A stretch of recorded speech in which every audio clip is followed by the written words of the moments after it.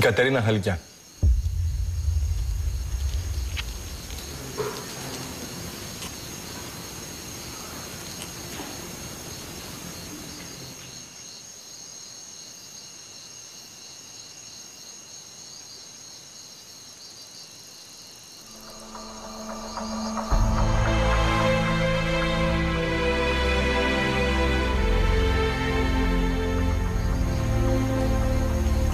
Κατερίνα μου,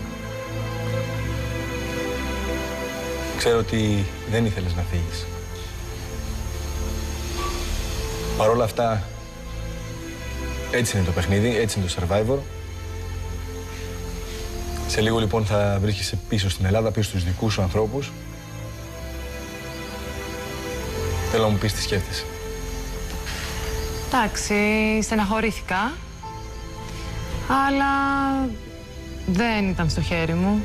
Αφού έτσι αποφα... αποφάσισε ο κόσμος, το σέβομαι και θα γυρίσω στην Ελλάδα. Αυτό εντάξει, έχω στεναχωρηθεί, αλλά μπορώ να το διαχειριστώ. Είμαι, είμαι εντάξει. Εύχομαι στους συμπαίκτες μου να προχωρήσουν και να πάνε όσο καλύτερα γίνεται, να προσέχουν, να μην χτυπήσουν και θα τους δώσω στην Ελλάδα όταν γυρίσουν. Τι πιστεύεις ότι είναι το σημαντικότερο πράγμα που σου έδωσε το Survivor. Το σημαντικότερο είναι να δω και εγώ τα όρια μου κάτω από αυτές τις συνθήκες, να αγωνιστώ σε ένα άλλο γήπεδο, αν θέλεις, ε, σε κάτι τελείως διαφορετικό από αυτό που, από το μπάσκετ.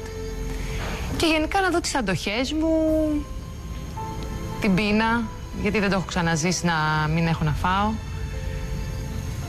Και τη συμβίωση φυσικά κάτω από αυτές τις συνθήκες. Με έκανε πιο δυνατή και ήταν μια τρομερή εμπειρία για μένα. Ε, εντάξει, είναι πολύ όμορφα. Ό,τι καλύτερο. Αν θες να πεις οτιδήποτε σε κάποιον από τους συμπαίκτες σου, τώρα είναι η στιγμή. Ε, ότι τους αγαπώ πραγματικά και ότι ανυπομονώ όταν τελειώσει το παιχνίδι να τους δώσω στην Αθήνα.